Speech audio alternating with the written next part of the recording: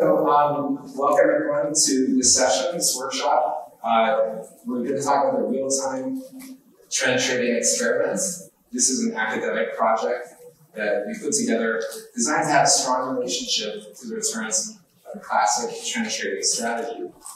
Uh, shout out to, I've seen some, several of our traders for our working group members here. Um, special shout out to them, and hopefully they're watching live on the live stream. This was a group that we grew from four of us became 2,000 uh, just through word of mouth. We've had over 50 events, averaging around 220 people uh, per event. So I just want to give a little nod to them. But my name is Andrew Strasman. I'm with Totem Asset Group, the CTA based here in Chicago, well, say FSC. And I'm a, primarily a trend following trader, but my NFA restrictions mean I really can't discuss that today. So I'm not going to really be discussing too much about my work. Um, I do have a book on Amazon, see here.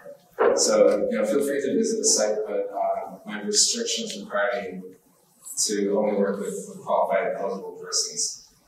My origination story and my passion for trading is very easy to go back to when I was about seven years old. Uh, maybe you guys remember the first Pong game came out.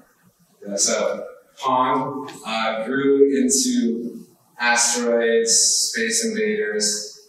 When um, say I was about 12 or 13 years old, I used to study uh, Pac-Man patterns to try to defeat the game and Donkey Kong patterns. We do the paper route and go to the arcade and patiently wait your turn while the older kids play. And as I was waiting for my turn, I kind of got an idea of how to defeat the game.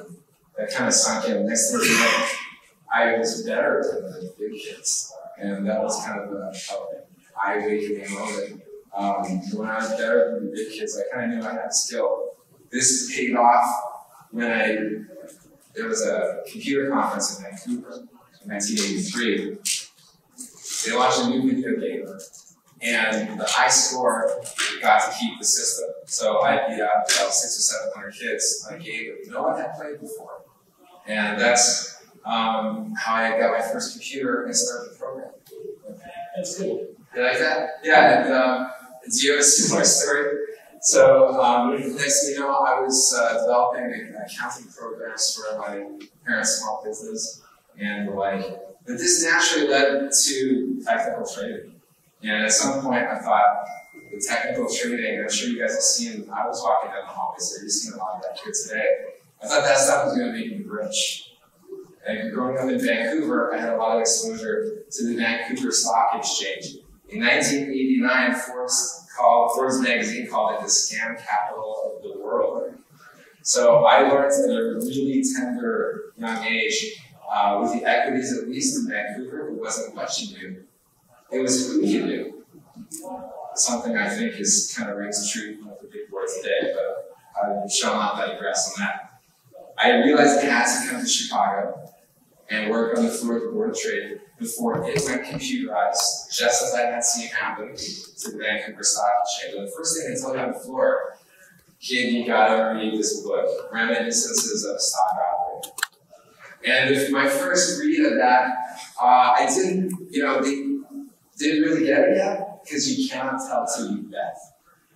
But I read it, you know, I thought, what do you think? I thought, good book, good book, you know, but you really don't know until, you bet.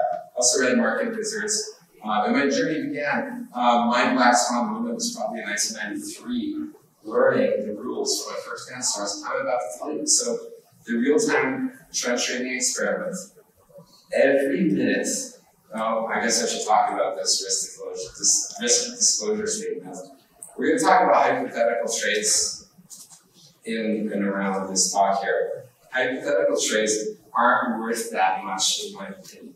But when you do have a timestamp um, and the price of the timestamp, you can put it together and draw some, some relatively meaningful conclusions. But always be aware of hypotheticals, in my opinion. This is also not investment advice. Trading futures is extremely risky. You will probably lose all your money and then some. Please consult your financial advisor.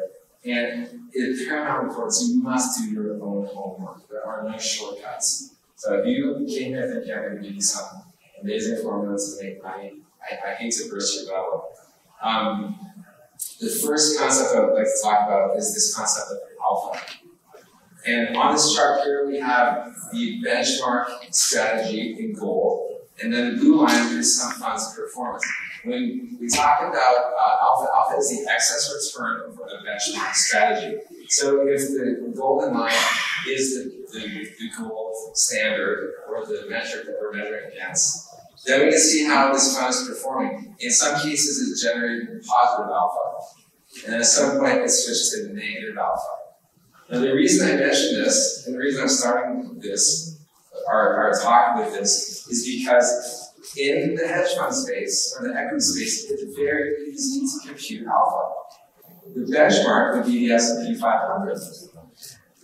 So this is a very easy computation in the CTA space, in the managed futures space, in the trend following space, it is a lot more difficult because you don't really have one single benchmark. There's so many to choose from. We've got the Barclays CTA index, HFR puts out a whole bunch of sub indices that are great. There's a SocGen, SocGen CTA index, ISG Bridge does a good job. So there's all these metrics, and we don't really have one singular benchmark. The problem gets even muddier when you look at the constituents in, in the benchmarks or in, in their computations. Many of these firms are multi-billion dollar shops. At some point, trend trading strategies uh, run into capacity constraints. So almost to a firm, if a firm is over, say, one, two, three billion dollars, they are starting to divest into alternate strategy sets or to the point where maybe trend is at 25% of their allocation. So I guess what I'm saying is the benchmarks are now under under allocating or underrepresenting what trend is doing. And we thought that to be a problem. So the goal of our academic projects here was to create a reliable and transparent benchmark for trend activity. The sub goal of this was to educate investors such as yourselves through um, repeated examples. So by the end of this, hopefully you're going to be a trading expert, or at least know enough to be dangerous, let's say. Every minute of every trading day for the past five years, we've been assessing the signals of a very simple trend following program, tabulating the results. So with this, we get a very high level of accountability because we can look back at every single trade from cradle to grave and know exactly how I perform. And since we're publishing this on an ongoing basis, we're accountable to ourselves and to others. So this is an example here. Um, this is a one minute hypothetical net asset value that we're tracking. And so it's updating every one minute. This is a, a look at all the positions uh, by market sector, and um, then an overall banding graph comparing to uh, that SocGen trend indicator, S&P 500, etc. But we'll come back to that, all that stuff in just a moment. Whether you are a grizzled veteran trader, or maybe you're a new young Turk quant trader, or a student, or maybe you just have a lot of money in passive investments, this this academic project is for you. Um, the number one frequently asked question, why the name 40 and 20 out? I assure you by the time we're done here, it will make sense and it will make a whole bunch of sense. Now, the following, uh, I was approached a few years ago by a $6 billion family office here in Chicago. Please don't ask to tell you, but they had six of their kids, literally their offspring are juniors and seniors in college. They said, would you mind giving a primer, uh, just a basic course of following to these kids, our kids? And I said, of course, we're very close with them. I would be pleased to do. So what you're going to see here is an adaptation of that seminar I gave to them. We had a whole afternoon. Okay, so I've kind of abbreviated this. I'm going to speed up in some parts, but um, let's just begin. I said to the kids, there's six or eight of us in um, a conference room. Okay, just to paint the picture a little bit. And I say to these kids, I go, there are only three things that matter to me. And in order of priority, they are price, price, and price. As a technical trader, uh, there's a strong belief that everything you need to know about markets is embedded within the price. So by analyzing the price over time, you're analyzing everything you, you possibly need to know about the thing at any given time. Then I say to them, why are you guys here? And I say it's to get the money. And I don't, I don't say that to be gauche. I mean, why did you spend a lot of money on your education? It's to get the money to provide for your family. Maybe you've got philanthropic efforts. Bottom line, if you're not making money, you can't keep the lights on. So you're here for one reason, and that is to make money. And I'm not saying that you know to be again not to be coach, just saying that that's the reality, and that's why we're here. So I go, how are we going to do that? And there's only one way you can do this. You must create actionable words. You have to, at some point, convert your thoughts, dreams, desires, research, you know, gut instinct, everything. Someone somewhere is clicking a button and sending an order to send, send, sell, buy, sell, X number of shares, contracts of XYZ. So you can't just say, oh, I like the stock market. And it doesn't work. You need to place an actual order. So I, I said, just don't forget these three things. The get masters are price, price, price. We're here to get the money. We do that through actual words. Now, I wanted to get their attention right out of the. And I wanted to get to know them a little bit better. So I said, okay, guys, you're going to have a a quiz. We just sat down, like, no better time than right now, we're going to have a quiz. And there's only two rules for this quiz. We had a blank piece of paper in front of us. There are two, two rules, two instructions. Reaction time is a factor. Keep your answers to yourself. It's the only thing I ask. Okay. I go quick. Choose a number between two and seven. And this is going to take long. I invite you guys to all try this. So pick a number between two and seven. Keep it to yourself. Multiply that number times nine. Now sum the two digits. For example, if you have 34, it would be 3 plus 4 equals 7. So everyone's got a number? Subtract 5. That new number you have, we're going to convert to a letter. 1A, 2B, 3C, etc. Does everybody have their letter? You got your letter? Okay, now think of a country that begins with your letter. So tell them, no pressure. Everyone, everyone got a country? Sure. Right. So just to review, number between 2 and 7, multiplied by 9, sum the two digits, subtract 5. Then use this grid to figure out what your letter is. And then think of a country that begins with your letter. Now take the second letter of your country's name and think of an animal that begins with that. Here's Noah as our, he's not real happy with the woodpecker pulls into it. Now think of the color of your animal. Now I tell kids, I go, what I'd like you to do is to draw a blank grid or a chart. And on one side, we're going to have price, and on the other side, we're going to have time. What I'm going to do is read off a whole bunch of numbers, and then you're going to fill these in like a dot to dot, and we're going to build a chart. And go leave, leave room for about 80 data points or so. Just go left or right. And goes, that seem clear? I mean, it's pretty clear. I'm very light on instruction here. But they say, yeah, that seems clear. I go, Anyone have any questions? No questions? Great. Let's get at it. Oh, wait, I've a question. What is a great elephant doing in Denmark? Okay, their heads just exploded. And while their heads are exploding, I go, they're like, they say, what happened? I go, I am in your head. Okay? So you better listen up. Because I got some stuff to say. Now, by way of getting to know these kids, I go around the room and there's, we have these different bunches of numbers here. You know, group number one, group number two, etc.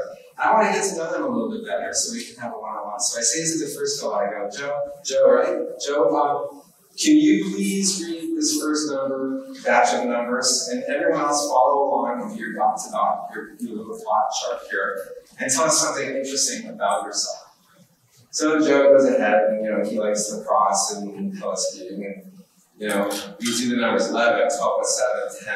And this, in this form, we're not going to actually do this, but uh, hopefully you it they're, they're doing their little line they go across, and we go to the second batch, and get to know Bob and Susie. We go through these batches.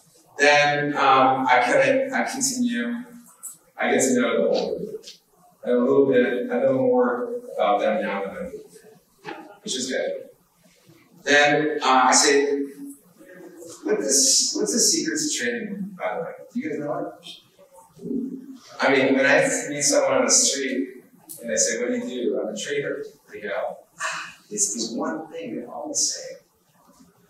And uh, can anyone guess what that is? What's that? Okay, they, the one thing I get most often, they say, Oh, you trade? Buy low, sell high. Buy low, sell high. yeah, I hear that a lot. Yeah, you're right. Okay, you're, you're kind of right. How about this? You're, exact, you're half right. I try to tell them you're half right. And go half right. I'm like, well, going to take too long.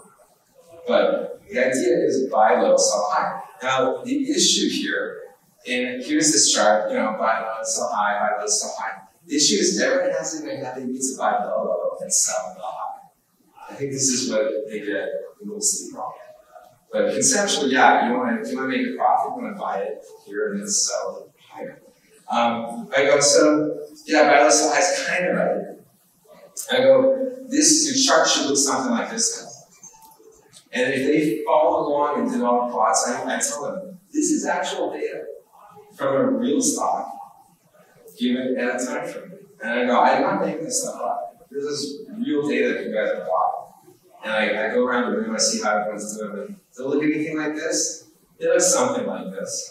And you know, it, it, are doing a reasonably good job. I go, well, today's your lucky day.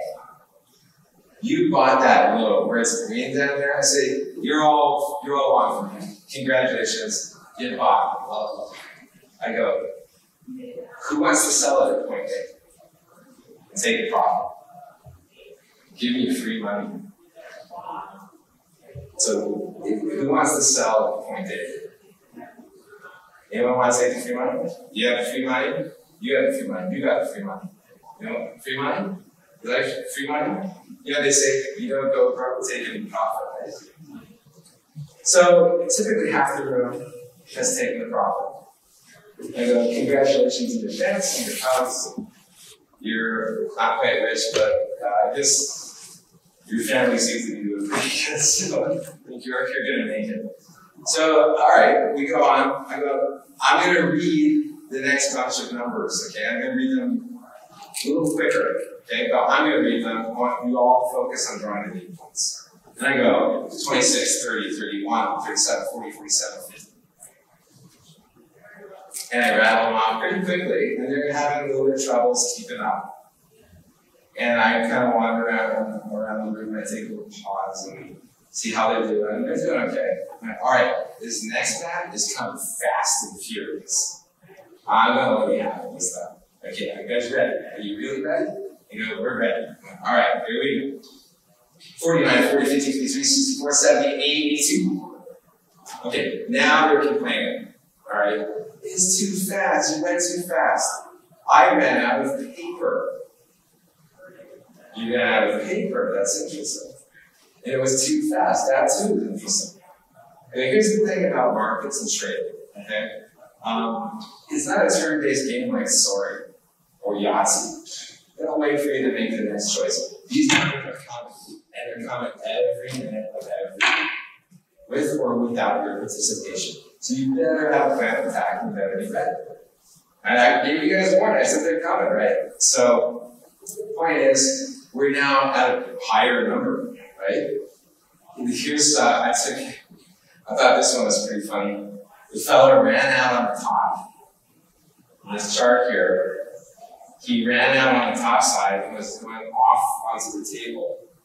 So quickly thinking, he did a continuation chart on the bottom to append to it. Other guys grab another piece of paper, so got two pieces of paper, and they're, they're complaining. They're like, that's not fair. Oh, that's not fair? What do you mean that's not fair? You didn't give us the scale ahead of time.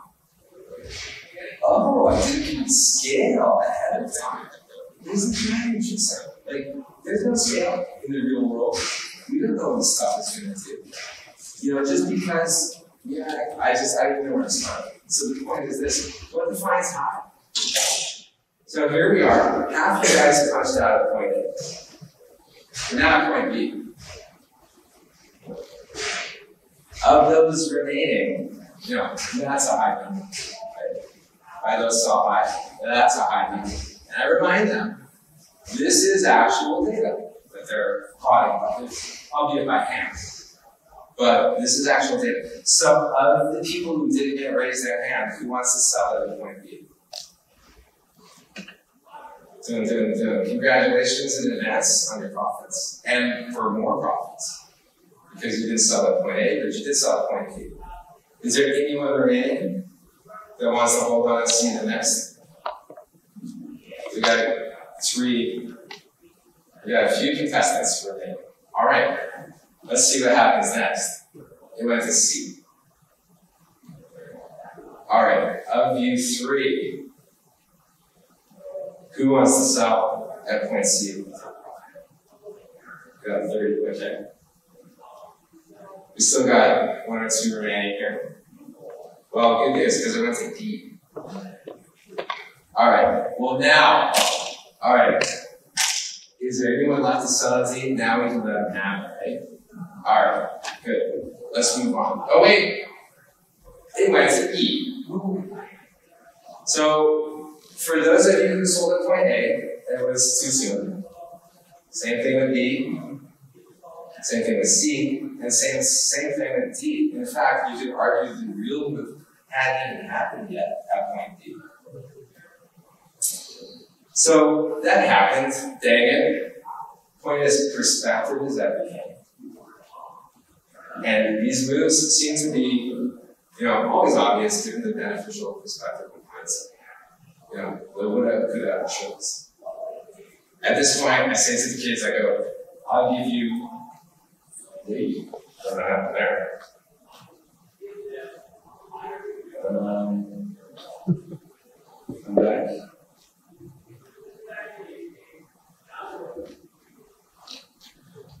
Try and plug it in, plug it back in. Just Yeah, let's do it again.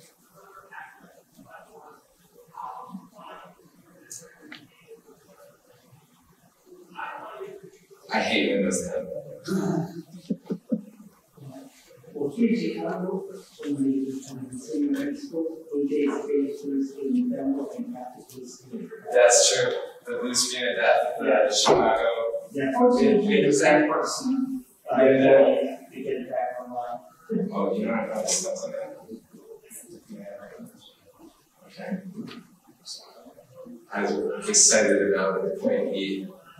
All right, they had it for a second.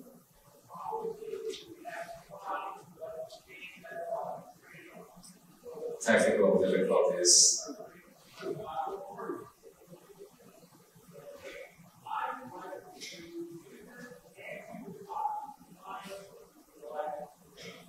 There we go.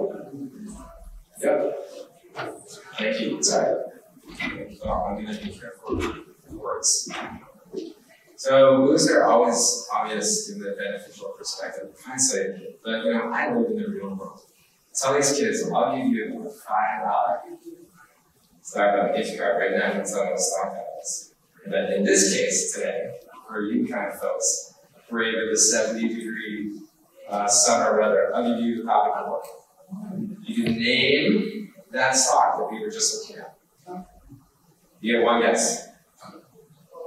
That we collect this after the presentation. You said Yes, it was Apple. Good job. I got Amazon, it was a good guess. Um, but yeah, that was Apple. Now Apple is, you know, something of a unique case. Uh, you, what did it say? Steve Jobs, um, Microsoft with uh, blue screen and that. Anyway, it must be tech. When you pull up the charts, I don't care what system you're using. There are six of them out there today to choose from. The default setting, when you pull up a chart, they'll take the minimum and the maximum. They'll compute a scale to center it for your viewing pleasure. So there's the default view of algorithm. It's taking the lowest to highest, setting a scale, centering it your viewing pleasure because they think this is how you like to see it. But I am telling you, I think they're doing you a disservice because um, we don't know what the scale is. And you need something to go on. I understand the programming part of it, but um, I'm just telling you now, beware. Just because there's a high and a low doesn't mean it has to stop at either side. This is how I look at it. This is a trend trader's view and oh, I guess No, no, no. to get there in just a minute. Okay. Um, there are three phases of water, right? Solids, liquids, and gas. Do you guys do you guys know what the three phases are for prices? About long, flat, and short. You know, at the risk of sounding obvious, things go up, down, and sideways. So that's important to know because when I look back at this chart, maybe you can see it. If you were long it was green, and if you were short or anticipating lower prices when it was red, and you know I did when it was flat, I just didn't even bother drawing it. Just a little noisy. It was why bother? So on this chart here, um, we're going to construct this chart. And hopefully you can see you can make money going up, going down. Markets travel in both directions. Why not? Why miss out on that? So when we talk about um, deriving alpha from, from trading models, there's two schools of thought. There's one that's like price driven, uh, like I am, or technical traders maybe. Another school of thought is fundamentally driven. Like think about a, a Warren Buffett or something who's looking at dividend yield and quality of stocks and whatnot. But let's stick good price. Um, in when you're looking at prices, you could be trend based, or you could use like a reversion. Um, counting up things that going back to where they came, sort of. So let's take a trend. Um, and you know, we're trading liquid in liquid things, directional bets over a short, medium, and long, hopefully a long time frame. You broadly put strategies into two categories. One would be convex, meaning I want something to happen, or a concave, I don't want anything to happen. And if you guys are a student of uh, betting strategies, you know, there's you might draw parallels like a Martingale strategy um, or a throwaway strategy, but let's just skip that for now. Why why talk? Why would you add trend strategies to your portfolio? In modern portfolio theory, the idea is that if you increase your portfolio, if you add to your portfolio lowly correlated instruments, you will tend to increase returns and lower risk. So that's why we're big proponents of trend in the first place. Now, it's true that the last five to ten years have been horrific for trend strategies. And yeah, we think we know why. Um, on this chart, um, my friend Dimitri uh, put together what we overlaid here is um, the purple line is the growth of the Fed's balance sheet inverted. And the red line is the growth of the ECB's balance sheet inverted. And with an amazingly strong statistic, statistical um, statistical statistics of It explains all the other in the stock market and lists all of the most recent downturn in the past years in CTA or transaction. I think this isn't happening if they've been keeping a lid on volatility. So if you have a convex strategy, you want things to happen, they said no moss, they kept a lid on it and prevented things that might have happened in the past. Anyway, we suspect that's what has been happening. I thought I'd mention Trend, this is the background on trend trading. Now, this is a great story. If you've heard it, um, you're gonna reminisce, and if you haven't heard it yet, you should definitely know this. These two successful traders have a bet. Are great traders born with a killer instinct, like this lioness here, or can they be taught? There's an episode of The Simpsons when Homer hit his head became a genius. So they put in the Wall Street Journal and. They got something like 10 or 20,000 applicants. They were looking for apprentice traders. From these, these 10 to 20,000 applicants, they were all given uh, a, a true false entrance exam. And you can take this entrance exam on our website. They selected a bunch of candidates who had some of the uh, characteristics they were looking for. They rated them, they picked 10 out of 10,000. They invited them to come to Chicago for a three-week training seminar. They coached them up on methods that we're going to discuss and gave them a couple hundred thousand dollars to trade and sent them on their way.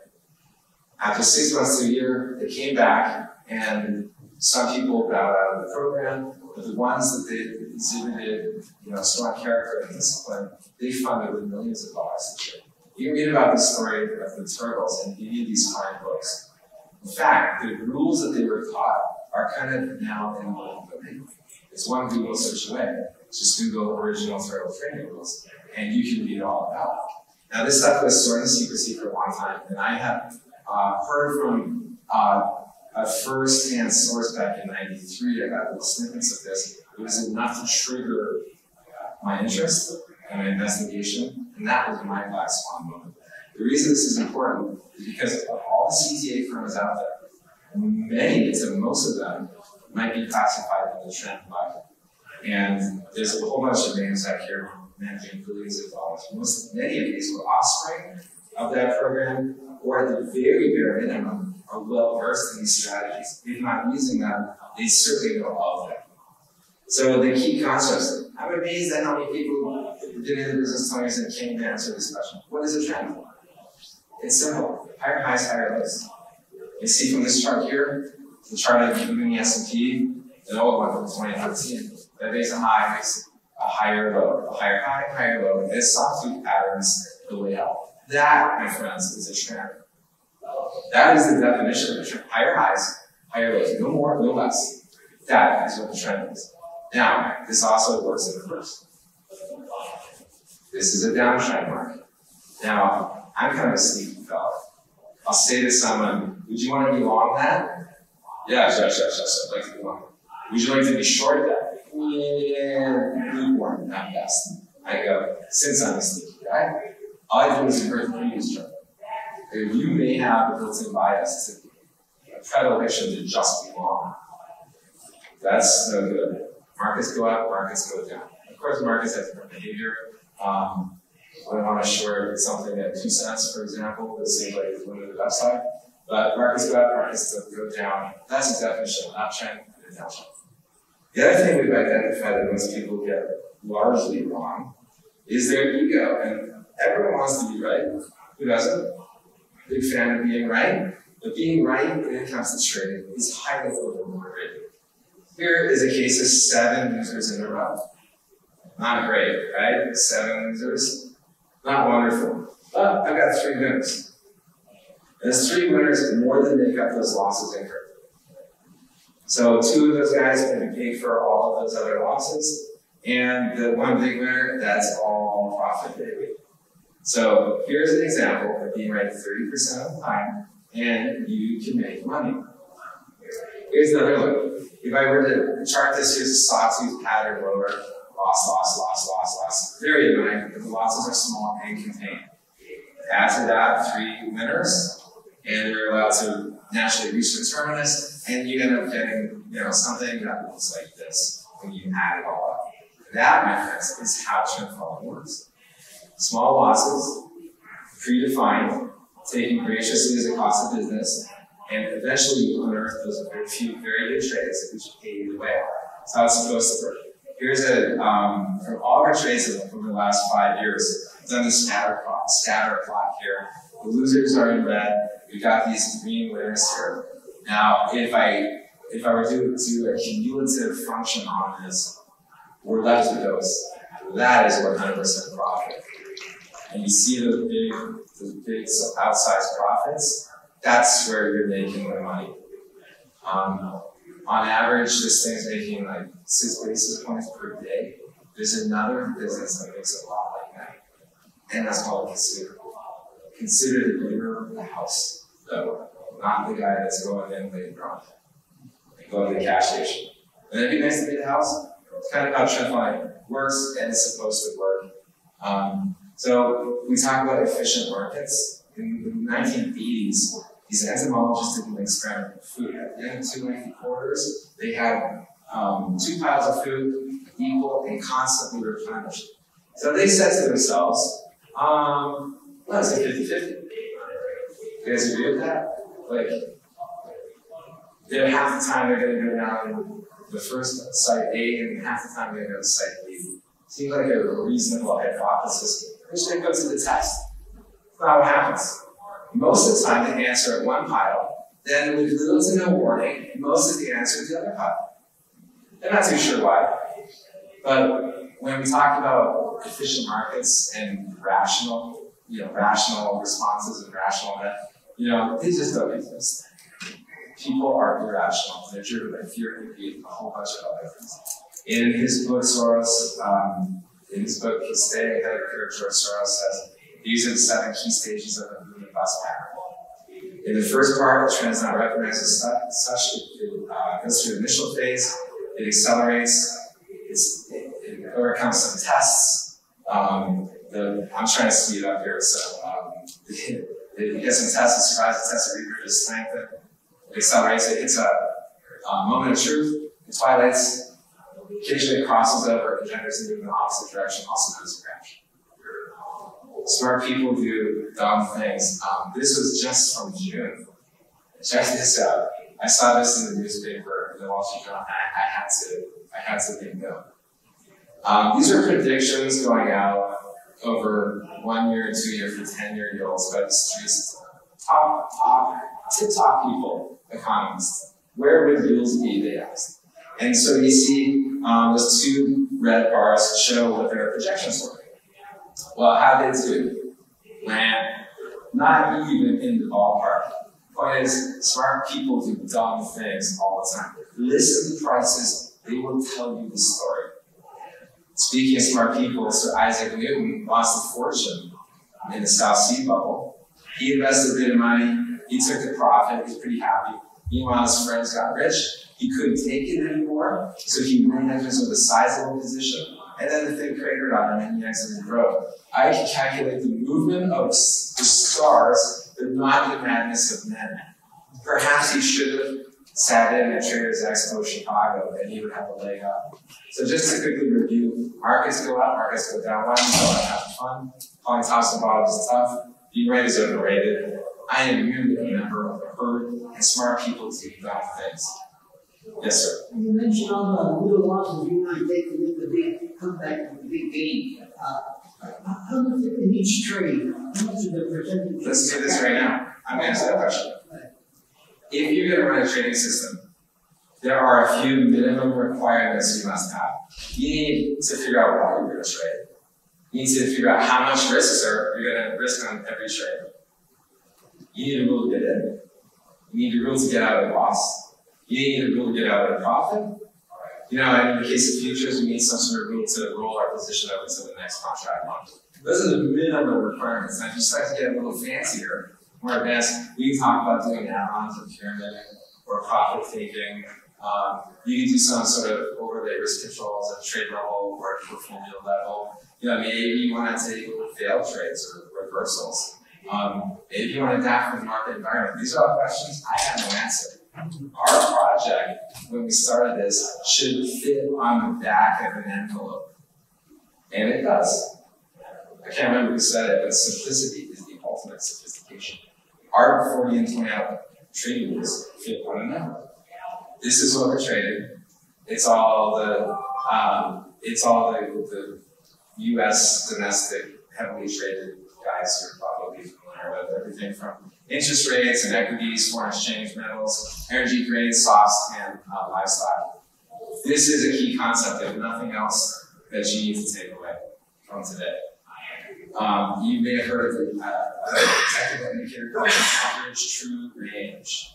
What this is simply is from if you take the high minus the low, that gives you the range on the day.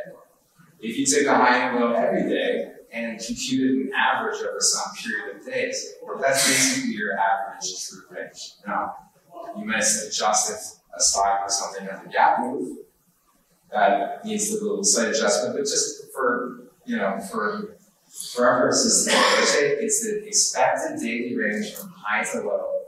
We think that they might trade on any given day. That's average range. We use this in two places. First is for determining our initial predicted stop on any trade. Second, we use it for calculating what we call volatility adjusted unit size. Now, as the market gets more volatile, that number will increase or decrease as the market starts to consolidate and, and pinch in, if you will. Have a look at this chart. Um, so this is a chart of copper from a long time ago. On this sub chart is the average true range. It's that blue histogram, it's not histogram, the blue line on the sub chart. Um, it had a range of two and a half cents way back when. Then we drew an arrow to the second box up there you can see, where it now has a range of about five and a half cents. So during this time, we can say the average range of copper has doubled. That would be a true statement. So this part can get a little dicey, but I think you can handle it. When we were trying to decide what we're going to use for a benchmark, we wanted to balance uh, use by institutions with use by individuals. So we settled on was an account size of $5 million. That's a lot of money to most people. It's a deck chair on a QE2 for others, okay? So we said 5 million just to give us a starting point. Um, and so there you go. We're risking 5 million. Sir, risking 50 basis points on any trade. Now, we know from experience, this is about twice as frothy from reality. But we'll get back to that in a second. So 5 million risking 50% or 50 basis points. 5 million times 0.50% or 50 bips gives us $25,000 of risk capital on every trade. Now we take that number and we put it in that budget pot. So that's 25, that's what that 25,000 25,000 comes. Let's focus on US, which is of course the 30-year treasury bond. At this moment in time, it had an average true range of 1.20 big points. Okay, so one and a quarter points more or less. The TIP value for, for big points is thousand bucks. We know that from our handy dandy commodity symbol graph, which equates about 12, it equates exactly $1,200 of risk. So there's the point value for uh, dollar um, dollar value for big point. That's what it works out to. So 25,000 divided by 1,200 would yield 20.8 contracts if we got a single in 30 year bond for this account. Does that make sense? Is that good? Okay, if we were in a smaller environment, if you're watching this on video, you can button and go back. So here's the question. Gold has an ATR of 19.3. Well, we know it's $100 per point value. It equates to 1930 per contract. 25,000 divided by 1930, we can do 12.95 contracts. Now, you must either truncate to 12 or round up to 13, pick up. But that's how we're able, this is what we call volatility adjusted unit size. As the market gets more volatile, the ATR is going to go up and reduce the number of contracts you trade to account for this new large asset risk. This way, also, key point, we can make every single bet we take need the same debt, be it bonds, yen, gold. What we don't want to do is have outsized bets on anything. We want to make sure every bet is the same everywhere we go. Otherwise, we're going to get some asymmetric results there. We actually have a website a calculator showing what the ATR is, the 40 day high, 40 day low, um, etc. But I got to speed this up or we're going to run out of time here. The initiation. In a narrow market, when prices are not getting anywhere to speak out but move within a narrow range, there's no sense in trying to anticipate what the next big movement is going to be up or down. So says Jesse Livermore in Reminiscences of a Stock Operator. That book they told me to read when I first arrived in Chicago. It, it didn't make much sense the first time. Now I'm running close on it. So what we're looking for is the market to go sideways. And I like to tell people, I say, um, I say, did you ever remember the Jack in Box as a kid? You wind the thing up. The longer you wind the thing up, in my opinion, the more potential kinetic energy becomes stored, which, when released, yields a bigger move. At least in my opinion. So here's what we're going to do. Remember, we treat both sides of normal, long and short. Um, you know, you might hear people talk about support and resistance. They'll draw support resistance line. That always cracks me up because to me, it's an opportunity line. If we went below the lowest low of the last 40 days, so here's the highest high in blue of the last 40 days, the lowest low of the last 40 days in red. Does everyone see that? When it goes, pierces that red line, we're getting short. We're initiating a new short position. We don't have any contracts.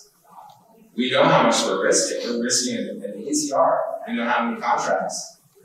We're just waiting for the thing to happen. I don't know. I don't know. Um, I can't. I can't choose the timing of the battle, but I can choose the place and the sizing of the battle. So first of all, we're controlling the things that we can control, and that's a core principle of trend So that's a short would be getting initiated. This is where I long would be getting initiated. This is the mirror image. It's where I get long, get short. Now, you're in the trade. So what? Well, here we go. Um, this thing got long here. We put a protective sell stop against the position. One ATR lower from our entry. So if the market, this trade doesn't see the light of day, if it rolls rolls over and plays dead, you know what? I'm out. I, I mean, I don't not care, but I'm kind of ambivalent because it's a acceptable small loss, getting me that much closer to the big win. And as I know, 30% winners is okay. What if the thing is a winner? Oh, just another Livermore quote. A loss never bothers me after I take it. I forget it overnight. But being wrong, not taking that loss, that is what damages the pocketbook and the soul. True, you know, people instead of fearing, um, okay, well, you have to reverse this natural deep-seated instincts. People, when they have a loser, they hope that it turns into a winner. When they're on a winner, they fear that all their profits going to be gone the next day. You need to completely invert that mentality. When you have a loss, you have to fear that the loss is going to get, get bigger, and you can take care of that immediately by getting When you have a winner, you have to hope that it becomes a bigger winner. So you must invert those deep-seated natural instincts, and it is not easy. I will tell you that. So in the case of the winning trade, this thing started to go higher. It marched up, and what we're going to use now, we use the 40-day high to get this trade. We're going to use the lowest low of the last 20 days to liquidate this position. Remember trend, what is the trend? Higher highs, higher lows. If it makes a new low, I'm getting out. So this is a dynamic trailing stop. And after a certain amount of time that this is going to win and trade, and you stuck with it, and you had a resting GTC sell stop against it, at some point that thing marches up. And at some point, hopefully, it marches up again. And you're going to keep marching out. I guarantee at some point it is going to move. Because at some point things are going to stall out. Maybe it'll roll over, the other way. Doesn't matter. What you're doing is marching that protective dynamic drum stop higher. And that's how you're able to hang on to the nerves. And you're, you're able to hope for this trade to become a bigger than trade. So, trading rules. Initial risk 50 basis points of a $5 million account size of 25000 we're, we're risking one 20 day ATR. And by the way, you guys, if you go onto our site later um, and sign up for, you, you, can get all this stuff. Uh, we'll get long over the highest high of the last 40 days, or short below the lowest of the last 40 days. And when in the position, we use a dynamic 20 day lowest low, highest high to trail the stop. So 40 days to get in the trade, 20 days to get out. Hence why we call it 40 days to get out. I guarantee you, you would understand it, it would now make sense. Hopefully it makes sense. Here are a few example trades, okay? This was today. This happened just today. This is getting short your own currency. This could be a big trade. I mean, I don't know, but know, nobody knows. I'm not even going to speculate um, what's going to happen with Brexit or anything like that, but I can tell you there's been a series of small losses recently. Now, if I go down, how about this trade? I was short this thing 200 days back in 2014. So I drew this big uh, box around um, where you got short, and if you can see that little orange line that's going lower, that's your protective sell buy stop on the short position. And as you can see, that was a monster. Another monster around that same time was getting short crude. Now, the interesting thing about that was there was a couple of false starts there, but when you got short at 92 bucks, we cascaded lower, you know, down into the 30s, 40s there. So that was another monster losing trade. Um, but you know, I can probably show you more losing trades. Uh, I, I can't. I mean, if you make money like 30, 40% of the time, there's certainly a lot of bad examples that we just don't have time for. You may have heard of cryptocurrencies. Here is um, um, this is using a system TradingView, which I you guys might check out. It's a pretty good system to, to use. So I've drawn the background, green went long, red went short, and left it white with no position. Here's a bit of a closer view. It broke out in, on April 1st over 4,100, and just uh, just last week it took out the 20-day low. So you could have been long from 4,100, liquidated 9,200, and flat, reset, and now you'd be looking for a breakout over 14,000 to initiate a move on, or you'd be looking to maybe go short for 700. This is uh, the, the back test uh, going back from 2013. Now, I remember I'm, I'm having this room with these kids, right? And I tell them, these are things you're going to want to investigate. Okay, 40 day breakout, there's no magic about that. The original external, rules had system one was a 20 day breakout, system two was a 50 day breakout. So 40 was something it's two months. It's good benchmark, it's good benchmark, which is why doing this. You plug that into your back test system and check it out and see what actually works better or wrong.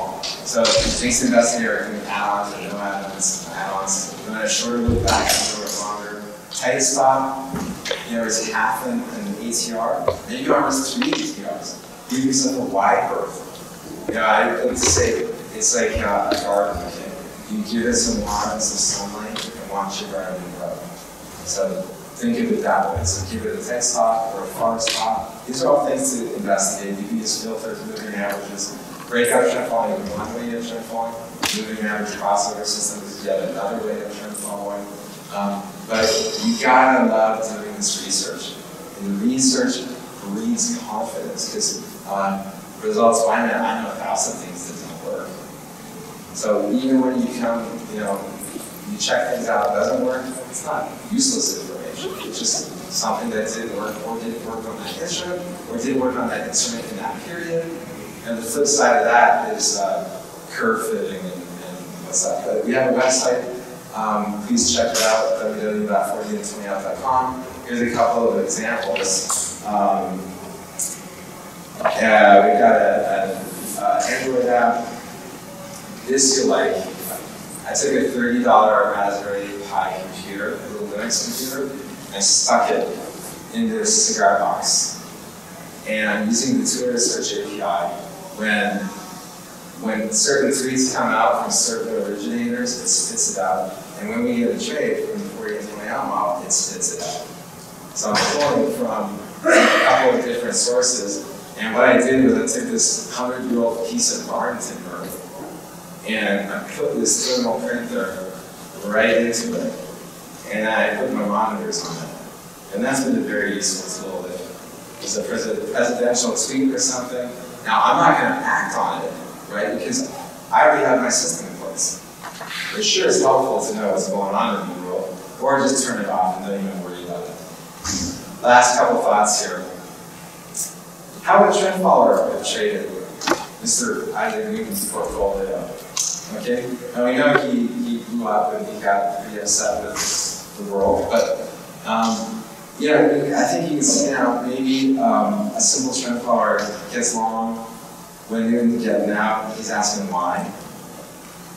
You know, they're busy playing ping pong. I never made more money than did sitting on the hands, comes to mind. And then eventually, you know, you roll over and to get up. You could have actually gotten a move in the opposite direction and gone short. If You got coming and going instead of what started um, Why would you want to sign up for our academic project?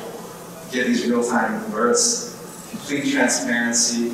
Uh, you're going to learn through um, repetition and observation how trend works. It's a good comparison tool against your other investments. You're going to learn the techniques. Um, I, this is some, there's some free tools out there. Does anyone use R or Quantum? There's some free tools out there that are pretty powerful. Um, and you know, really go into that. One thing people have been asking for, and we have the data, we built it, we just haven't really released the data, is they care more about stocks than futures. So we have a portfolio of the top 30 largest cap stocks. I think there's a lot more interest in that than there is in all the fixed income products. Um, this is a, that's Apple right there. Hey, do you guys remember December? I got the mouse right there. How about that short? Right from there. Uh, Twitter.com slash 4820 out. I was talking about this trade right here. That thing cascaded lower. You could have been short for all that. You could have been long for this bit. And yet you want to be long again, which is fine as long as you are mindful of that technical type of stock. And I have no idea what I was doing. But I just, I know I don't know what's going to happen. There's a lot of nice people on TV that.